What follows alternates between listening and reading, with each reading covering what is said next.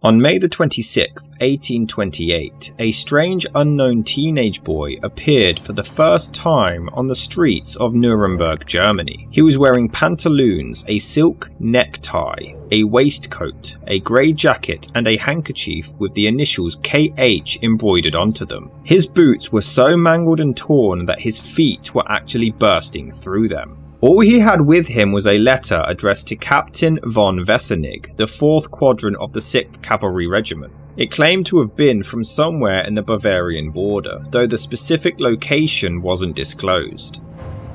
I send to you a boy who might, as he wishes, serve faithfully the king. The boy was left with me 1812, the 7th of October, and I am a poor day labourer with 10 children and have enough to do to take care of them and his mother left the child with me to bring him up, but I have not been able to speak to her, and I did not mention to the justice that the child was left with me. I thought that I must consider him as a son, and have brought him up like a Christian, and have not since 1812 let him go a step from the house, in order that nobody might know where he was brought up. And he himself does not know how my house is called, nor what the place is called. You may ask him, but he cannot mention it. I have already taught him to read and write. He can write my handwriting like myself and when we ask him what he will become, he says he will be a light horseman as his father was. If he had parents, which he has not, he would have been a learned lad. You need only shew him anything, he can do it at once. I have brought him only as far as Neumark, from thence he must go to you. I have said to him that when he is once a soldier, I will come immediately and visit him, otherwise it would cost me my neck. Best of captains, you need not trouble him at all. He does not know the place where I am. I brought him away during the night. He does not know the way home. I am your obedient. I do not make my name known as I could be punished. And he has not a farthing of money with him, because I have none myself. If you do not keep him, you may kill him or hang him up in the chimney.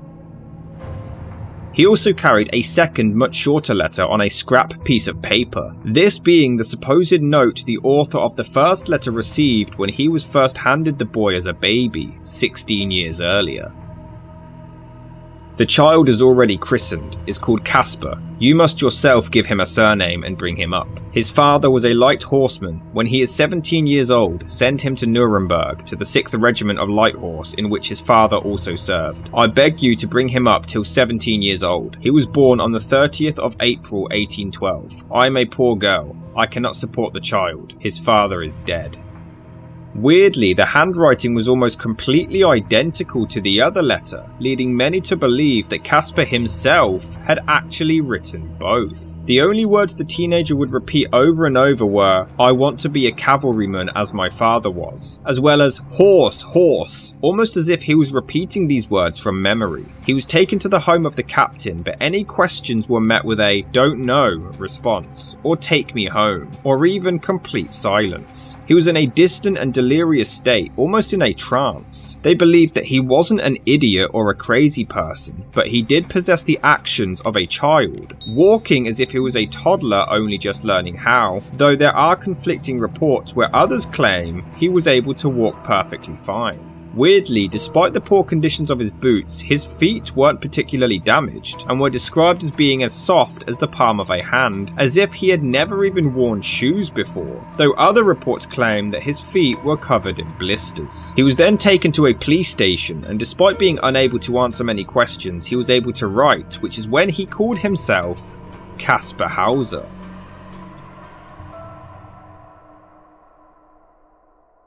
Though it's believed that this was a fake name, considering Caspar was supposedly isolated since birth and wasn't allowed outdoors, hence the name Hauser, which is German for houses, and it's the definition of a person who gives shelter or protection to someone. He was able to read a little, could recite prayers, and was also familiar with money, but his vocabulary was very clearly limited. He was once brought a lighted candle and seemed amazed at the flame, even going to grab it before burning himself. A similar incident showed him becoming fascinated with his own reflection in a mirror, though he would quickly turn around to see who the person was. Caspar often acted like he had never seen these things before, or even the outside world. He would grow greatly distressed even upon seeing an insect being crushed to death. He wasn't able to tell them where he came from, and according to one report, when a police officer threatened to abandon him in the woods if he didn't comply, Casper broke into hysterics and cried like a child, begging, Not the forest, not the forest.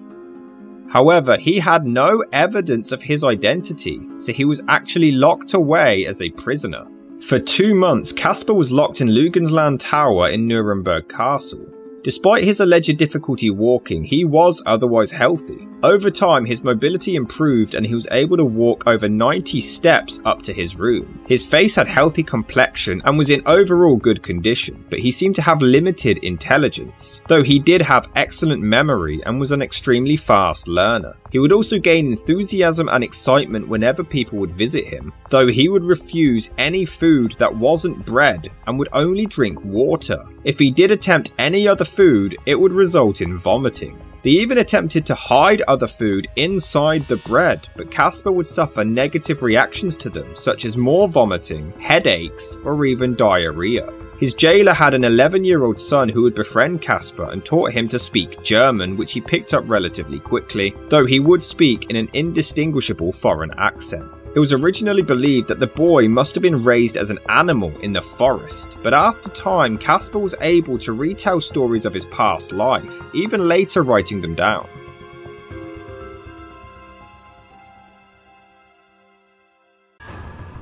He claimed that his entire memory began with him living completely alone in a dark cell, only about 2 meters long and 1 meter wide, and only one and a half high, with a straw bed to sleep on, a bucket to urinate or defecate in, and his only toys were two horses and a dog carved out of wood.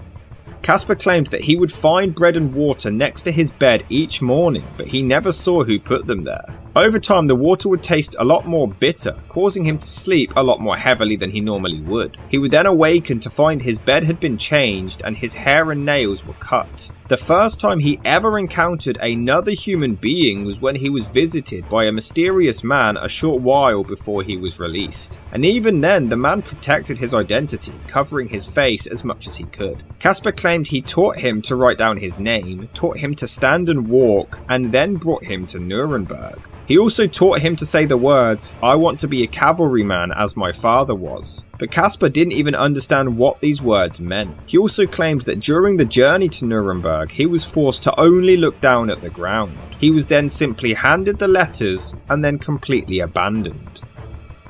This story gained huge attention across Europe, and Caspar Hauser was discussed worldwide. Presumably, because of his time in the cell, Casper had exceptional eyesight, being able to read in complete darkness, being able to spot and identify entire constellations in the sky, and he was even able to hear what was being said from across the room, even if it was whispered. He was able to read house numbers from a distance in the dead of night, which he was unable to do during the day, and indoors during nighttime was even able to point out a gnat that was on a spider web all the way across the other side of the room. However, in contrast, due to his years of isolation, Casper would convulse if he was exposed to loud noises. Bright light would cause him to howl in pain. The smell of coffee or alcohol would make him vomit. And he even once became drunk just from the smell of wine. He was even able to identify people in complete darkness simply by their smell alone. Over time, Casper did develop a larger vocabulary, but it was believed that he wasn't necessarily learning new words, but more remembering them from an age where he may have previously forgotten, possibly around the age of three.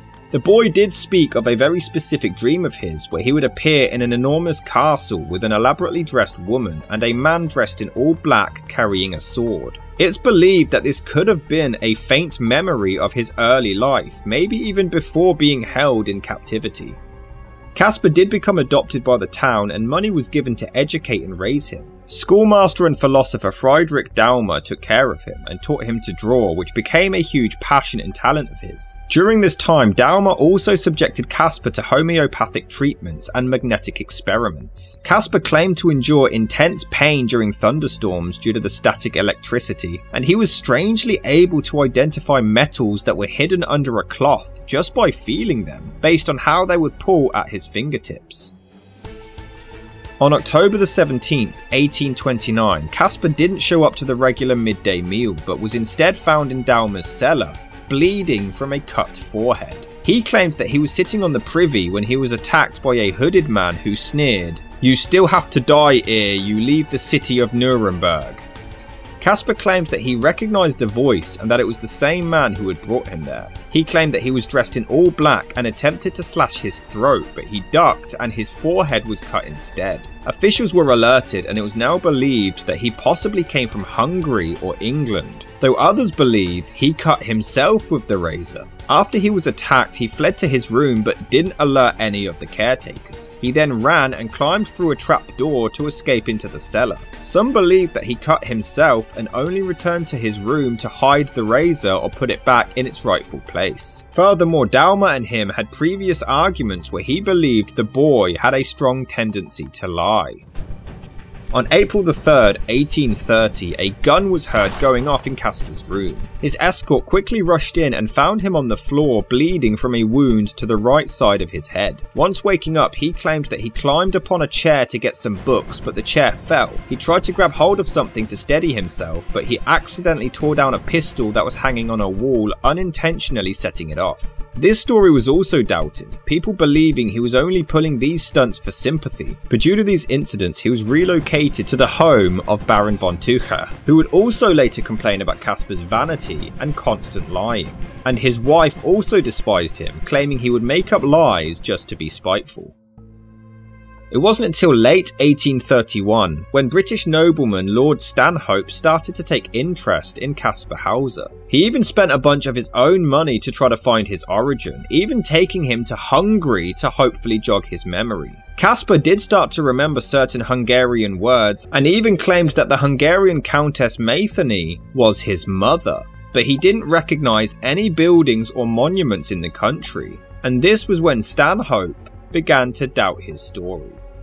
In December that year, he transferred him to Ansbach, where schoolmaster Johann George Mayer ended up caring for him, and in January, Stanhope completely abandoned him for good. He did continue to pay for his living expenses, but he wouldn't visit him anymore and refused to take him to England like he had promised him previously. Johann Mayer, much like many others, also wasn't a fan of Caspar, hating his excuses and lies. By late 1832, Caspar got a job as a copyist in a law office. He still had hopes that Stanhope was going to take him to England, but he was unhappy with his living situation, which only grew worse when his patron, Anselm von Feuerbach, passed away in May of 1833. This loss was a huge blow to him. However, allegedly, even Feuerbach himself started to doubt Caspar's credibility. A note from him was discovered after his death. Caspar Hauser is a smart scheming codger, a rogue, a good for nothing that ought to be killed. But it's unknown whether he informed Caspar of his true opinion or not before he died. On December the 9th, 1833, Caspar had a huge argument with Mayer. Lord Stanhope was expected for Christmas, but Mayer didn't want it to happen. Just five days later, on December the 14th, Caspar returned home with a deep wound in his chest. He claimed that he was lured to the Ansbach court garden where a stranger tried to give him a bag before violently stabbing him. Naturally, his story was initially doubted. Hauser tried to lead people back to the area where he was attacked, but he collapsed midway. Upon searching the garden, a small violet purse was discovered, including a note, handwritten in pencil, but Weirdly, it was written backwards, as if whilst looking into a mirror. Hauser will be able to tell you quite precisely how I look and from where I am. To save Hauser the effort, I want to tell you myself from where I come. I come from the Bavarian border, on the river. I will even tell you the name MLO. The identity of these initials have never been discovered. Caspar Hauser would pass away from his injuries three days later at the age of just 21. However, due to his constant lies and inconsistencies, many believe he actually stabbed himself and made up the entire attack. The note in the purse had spelling and grammatical errors that were typical mistakes he would make. On his deathbed, he was muttering gibberish about writing with a pencil, though his dying words were reportedly, I didn't do it myself. He was also adamant that the purse needed to be found, but never once asked for what was inside. The note was folded in a very particular way in a triangular shape which is exactly the same way he would fold his own letters. Furthermore, it was snowing that day, but the only footprints found at the scene of the crime were Casper Hauser's, and forensic doctors concluded that the stab wound could have actually been self-inflicted. It's believed that he stabbed himself to try to revive public interest in him and his story again, or to garner more sympathy from Stanhope and convince him to take him to England as promised, and he may have accidentally just pierced his chest a lot more deeply than he had intended. Caspar Hauser was buried in the Stadtfriedhof cemetery in Ansbach, after his death, Lord Stanhope felt like it was now his duty to openly confess that he had been deceived by the boy and that all of his stories weren't true, publishing a book presenting all of the evidence against him. Some felt like he was using Casper's death for his own gain, but historians conclude that he was a genuine man simply seeking some answers. To this day, Caspar Hauser's story of his upbringing has been widely disputed. If he had been living since childhood under the conditions he describes, he would not have developed beyond the condition of an idiot. Indeed, he would not have remained alive very long. His tale is so full of absurdities that it is astonishing that it was ever believed and is even today still believed by many people. During the autopsy, Casper's brain was examined, and it was of small cortical size, and it was believed he suffered from cortical atrophy, or possibly epilepsy, which would explain his convulsions at bright lights, though other experts claim there were no abnormalities in his brain whatsoever. Others believe he was just an extremely paranoid person and therefore was able to play this fake character so perfectly. He was always extremely hysterical, but most believe he was just a pathological liar and a complete con man, desperate for fortune, fame, and attention. In 1928, a study was conducted and it supported the fact that Casper stabbed himself and accidentally committed suicide. Though in 2005, a forensic analysis said otherwise, claiming that it was unlikely that it was self inflicted, but it can't be conclusively discarded as a theory. But Caspar Hauser's death is only one part of this mystery that remains unsolved. Who was Caspar Hauser? There is absolutely no historical evidence of Caspar Hauser ever existing before the age of 16. There are no records of who he could have been before he was discovered in Nuremberg.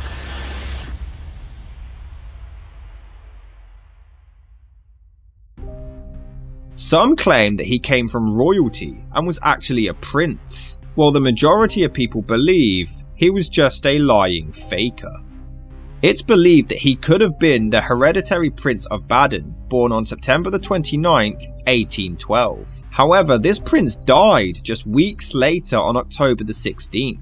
It's believed that he was switched with a dying baby in order to make way for the next successor, and that original prince was Caspar Hauser.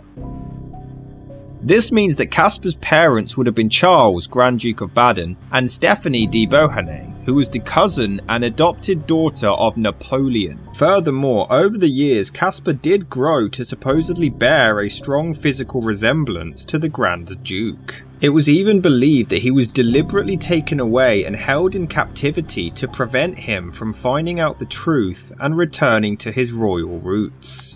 The aforementioned Feuerbach allegedly claimed to have evidence to prove that Caspar was the prince, but his death was under mysterious circumstances and certainly untimely, just days after making this announcement, which of course led to much speculation though this theory completely contradicts the note that Feuerbach left behind after his death, calling Caspar a liar. It wasn't until 1876 when this theory was followed further, using the prince's official documents, baptism, autopsy and burial. The Grand Duchess wasn't allowed to see her baby after he had died as she was too ill, but the baby's extended family were allowed and they would have noticed a different child, but nothing definitive was proven. It wasn't until November of 1996 when there was an attempt to create a blood sample from underwear that's believed to have actually belonged to Caspar Hauser, comparing it to the descendants of the prince's family. And it proved that Caspar Hauser was not the prince. In 2002, further analysis began on hair and body cells from clothing that belonged to him, but these DNA samples didn't match the blood from the underwear, now casting doubt on the 1996 experiment. These new samples were again compared to the descendants of the prince, and although they didn't match 100%, they were close, and they didn't differ enough for the theory to be completely ruled out. The differing DNA could have been caused by a mutation, especially considering the mitochondrial DNA only passes through the female bloodline, which can't change except through mutation, and this DNA test was done on a female descendant. There are no medical examinations allowed on the prince or his mother, so this theory will forever remain a complete mystery. It all started with an innocent mystery boy on the streets of Germany, and it led to nearly 200 years of speculation. Was this boy really held captive and then targeted and murdered, or was it just an intelligent man trying to desperately gain infamy? We may never know where he came from or how he died. But Caspar Hauser continues to fascinate the world and is arguably the biggest unsolved mystery of the 19th century. And after nearly 200 years, we are still seeking answers.